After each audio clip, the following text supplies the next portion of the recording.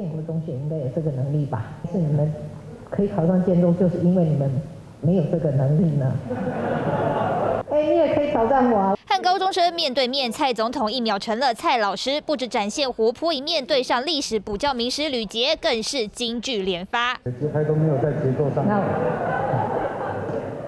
那做总统已经很辛苦了，这件事情就饶了我吧。遇到不拿手的音乐领域，蔡总统拜托吕杰饶过自己，但谈到这个，就换他大显身手。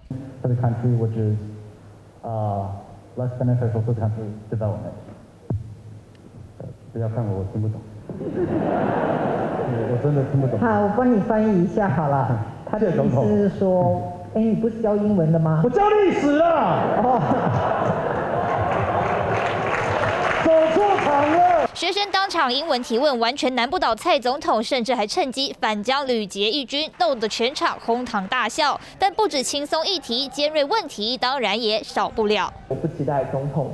就是有立即的回答，就这件事情跟最近的死刑存废议题的延烧有关系。你你放心，我不紧张，我会回答这一题的哦。它确实是一个，它是一个理性的问题，哈，也是一个价值的问题，更是一个情感的问题。有一个完整的社会安全网，我有强而有力的一个治安的一个一个机制。